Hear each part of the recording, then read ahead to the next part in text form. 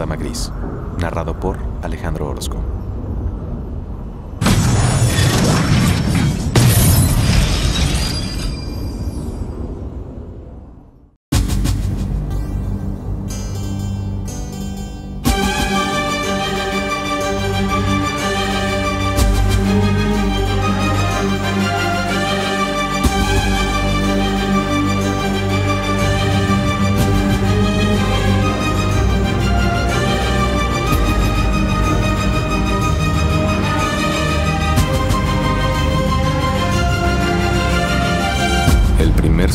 Escuché fue el chirrido de metal contra la roca. Mi vista estaba nublada. Mi visión seguía nadando en una turbia oscuridad. Pero algo en el fondo de mi mente registró aquel detalle. El desliz de la cuchilla sobre la piedra húmeda. El ruido áspero era el mismo que mi mazón hacía cuando marcaba las rocas para cortarlas de los peñascos. Apreté con fuerza los dientes. La niebla que ofuscaba mis pensamientos por fin se desvaneció, dejándome, sin embargo, una abrumadora sensación de pánico mientras sentía cómo se tensaban las cuerdas que unían mis manos. Era hombre muerto. Escuché un gruñido y un fuerte crujido de madera. Si entrecerraba los ojos podía distinguir la masa de lo que supuse era Gordon Ansel, sentado frente a mí. De nada sirvió contratar un guardia. Parecía que también estaba volviendo en sí. Oh, qué bien. Ambos están despiertos.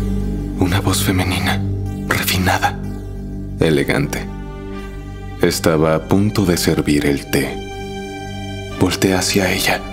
La mitad de mi rostro se sentía hinchado y con moretones. Las comisuras de mi boca estaban unidas. Traté de mover mi mandíbula hinchada y un sabor a cobre invadió mi lengua. Debería haberme sentido agradecido de seguir con vida. El aire tenía un persistente aroma químico, un olor que podía chamuscarte los vellos de la nariz si inhalabas demasiado profundo. Qué suerte la mía. Seguía en son.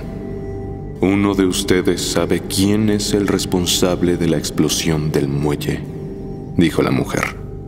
Nos estaba dando la espalda. Una titilante luz azulada iluminaba su delgada cintura y sus piernas inhumanamente largas.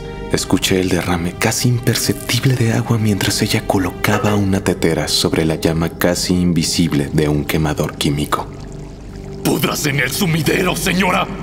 gruñó Ansel. Ansel era el más indicado para empeorar una situación de por sí mala. Los hombres del Baron Grimes siempre son tan elocuentes. La mujer giró para vernos. No era una lámpara lo que iluminaba su figura, sino algo dentro de ella que producía una inquietante luz. Me dirán lo que quiero saber, como si su vida dependiera de ello. ¡No le diré nada! rugió Ansel. Cuando cambió de posición, un ruido metálico emanó de los pies de la mujer. Estaba decidiendo a cuál de los dos escarbar la verdad primero. El sonido no tuvo sentido hasta que ella comenzó a caminar hacia Ansel. Entonces lo entendí. Su sombra terciopelada se separó de la silueta de la mesa. Una extraña luz azul pulsaba desde sus caderas y atrajo mi vista desde su atlética figura hacia las cuchillas gemelas. La dama era una quimera de vanguardia, como ninguna que hubiera visto en Piltover o en Son. No insulte mi gentileza, señor Ansel. Otros lo hicieron. Ahora están muertos. ¿Cree que sus piernas me asustan? La mujer se paró frente a mi obtuso compañero. Podía escuchar que el agua en la tetera comenzaba a hervir.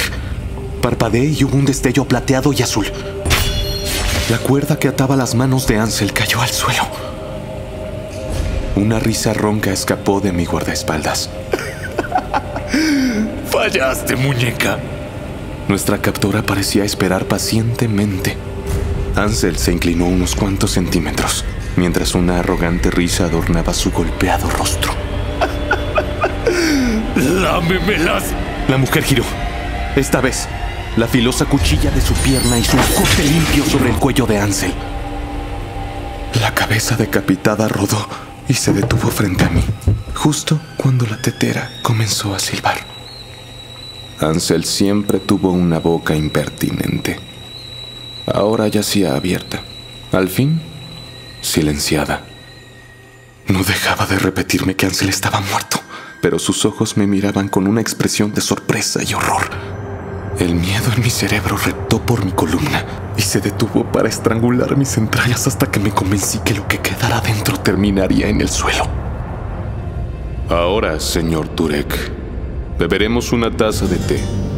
Y usted me dirá lo que deseo saber, dijo ella con toda calma. La mujer se sentó en la mesa y sonrió. Se escuchó un silbido de vapor al tiempo que servía el agua hirviendo en la tetera de porcelana. Me miró con una condescendiente lástima, como si yo fuera un colegial al que no se le dan las matemáticas. No podía dejar de mirar esa sonrisa suya, letal, astuta. Me moría de miedo. ¿Un? Me ahogué al decirlo. Ay, mi niño, dijo la dama gris. Siempre hay tiempo para el té.